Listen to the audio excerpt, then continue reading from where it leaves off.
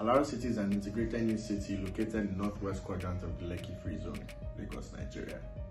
Alaro City is situated on the Lekki-Epe Expressway for ease of transportation to Lagos and towards the rest of Nigeria and is actually in close proximity to the largest seaport, deep seaport in West Africa, which is currently under construction. I hope this has answered your question and for any further questions or updates on Alaro City, you can find out on any of our social media platforms. We have Twitter, we have Instagram, we have LinkedIn, and we have Facebook. You could also check our website www.alarocity.com. Thanks and God bless.